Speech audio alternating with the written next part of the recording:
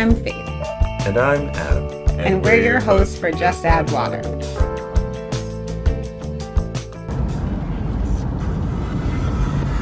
Oh, we got the tunes going this morning. Drum and bass. Here we are. Sunny Willamette. It is May 17th and we are social distancing on the Willamette. Faith and I don't actually need to be this far apart, but we are. But uh, what's really great is paddleboarding is a really easy way to social distance. And now that summer has decided to show up today, a lot of other Portlanders are feeling the same way. As you can see, there's a lot of people out on the water, and it is just beautiful. We went supping.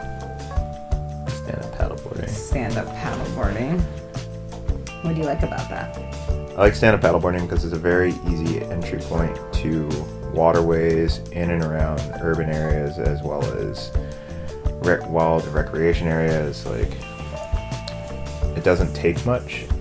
Uh, you can sit on it, you can kneel on it. It builds balance. It's great for fitness, but like, it's just fun.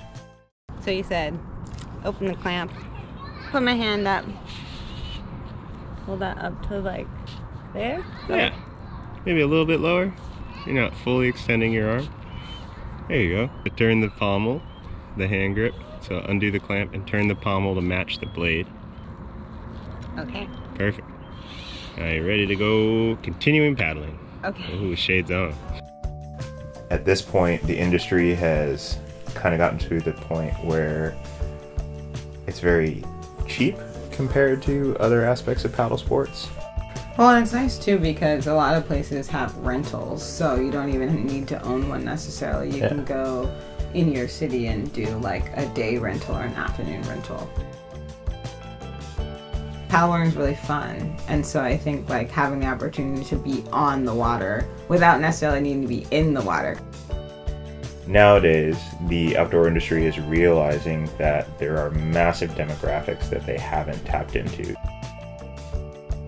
When you see someone that has like your spectrum of ability and has, I don't know, like looks like you, I think it just goes a long way. It's really having an invitation and having activation knowledge. Extending that invitation without judgment or expectation.